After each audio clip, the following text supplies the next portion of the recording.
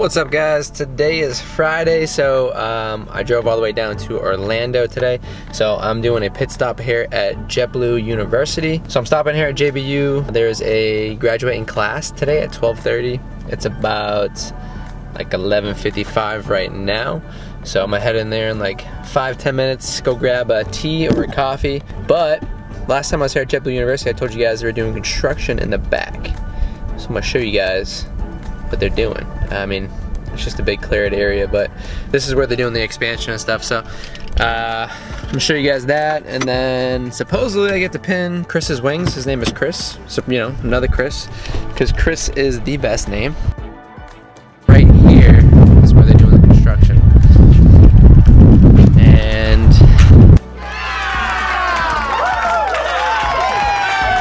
so they get some work to do so I guess they're going to be expanding JBU here. So hopefully by next year when I'm here for recurrent, we can uh, show you guys a new place.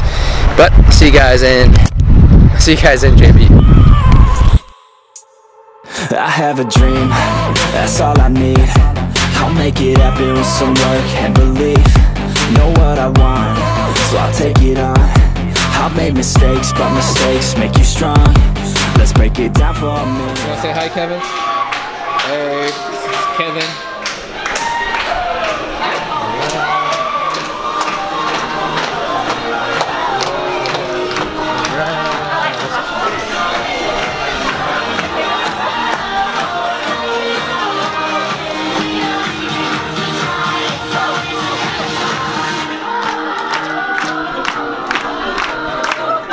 Once again, ladies and gentlemen, your class 1419.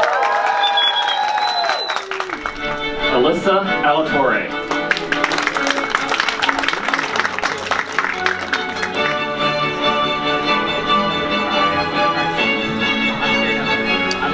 Susanna Askelson, represented by Michael Key.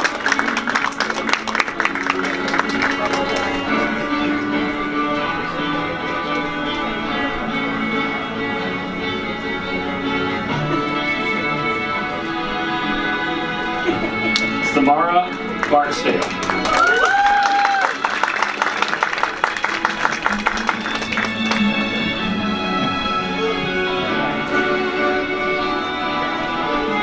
Amanda Beard,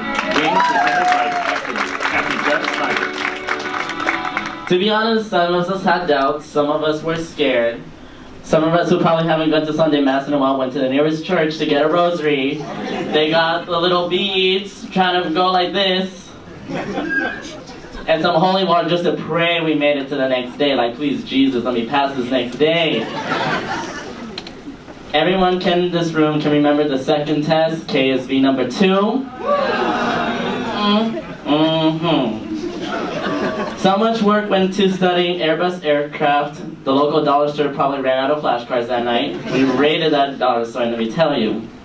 Some of us had large poster boards. We drew on maps and layouts at planes. Some of us had songs. Some of us went in a unique direction. I'm going to mention Janet over here. Miss Janet, who created a background story of each craft, craft and gave them names. At first I thought it was interesting. I'm like, who is Susan? Who's Nathan? Who's Cora? Who's Sarah? But later on I saw that her method actually worked. Now I can't look at my min plan and think of the name Susan. Vanessa, Matt over here, Nestor, Diana, Cindy, and I even had a game for the emergency equipment called Who Is She? and which named the emergency equipment and its purpose. That quickly caught on to the rest of the class. Many of us got into study groups, some of us staying up until 4 a.m. for an 8 a.m. class. I'm not going to mention any names. we all got each other snacks. We cashed out at the little snack bar over there. Created our own little makeshift simulators, quizzed each other, and rehearsed drills and emergency situations. That continued for the rest of the four and a half weeks we spent here. There's two things I learned from being in study groups. Sharon, I'll take that application for that JBU instructor position. I think I just got a job as a JBU instructor. I don't know how a little study group that ended up becoming my after-school class. What started as a small five-person study session for the first KSV MSV ended up being almost a 15-person class taking up the fourth-floor break room on the last KSV. For those of you who have attended my classes, I'll be sending a bill to your mailing address for the sessions you have attended. I take credit, debit, and Apple Pay. You can pay me on my iPad using the TS4 eGate app. But on a serious note, study groups have brought us to what was considered a small class even closer together. We supported each other when one had an obstacle on the road, whether it was an off day or some of us had to do a retake, and I know some of us were like nervous about that. I would always hear my fellow crew members say, we are not letting you fail, we are going to get through this training together and we will graduate together, and did we did.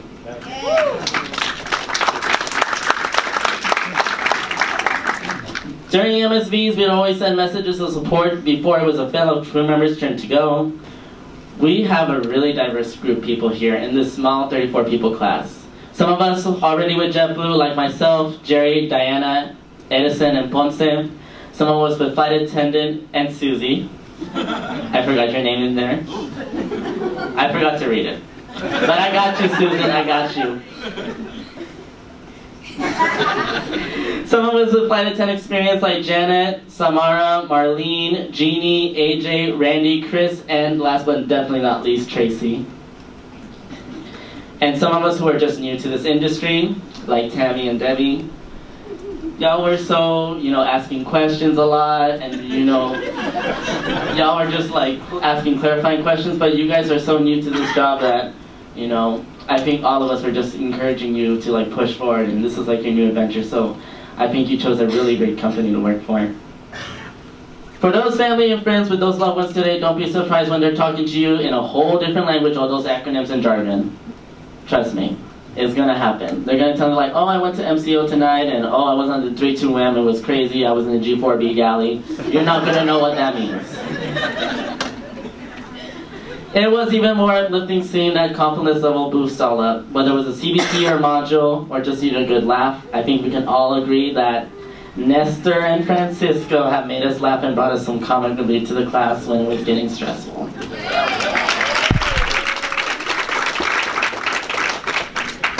Let me just say that looking from this podium, I'm proud to see this class in their JetBlue uniforms and earning their wings. I think we all are. Now, I don't want to get so emotional like Whitney Houston, like Sasha Velour in this part, but I just want to say to my fellow crew members that I am honored to be part of this class and the journey we have shared together. I want to say that wherever you go from here, whether it's the onboard lead program, special assignment to a promoted position, on that first flight to Europe, or even the impossible getting a line in Long Beach, I know that your fellow classmates know that you can do it and that there is a bright future ahead. For those guests joining us at JetBlue, we have a culture centered around our five values. I think our class has embodied those values of safety, caring, integrity, passion, and definitely fun, and definitely TEM. I think Sharon and the rest of the JBU faculty can agree this was probably the best in-flight class of the year. And I didn't pay them to say that. To the JBU faculty, I just want to say on behalf of this class, we thank you for your support. Tim's not here, but we would snap his fingers at him. To the lodge staff, we thank you for your words of encouragement and being our cheerleaders. And Jane, we just give a last round of applause for anyone who has supported us throughout this journey.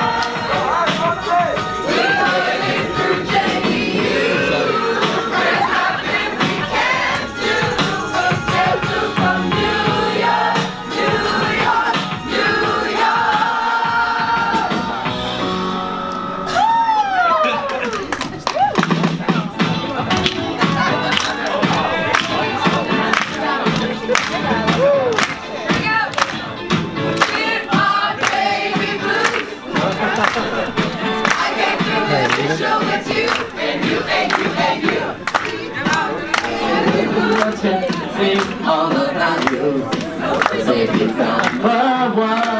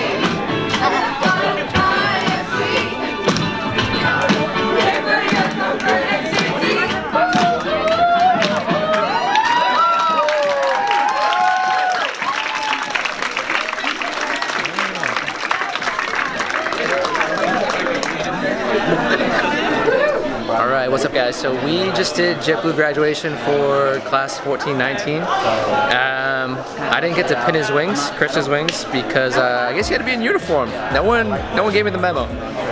So uh, we did a little impromptu wing pinning over here.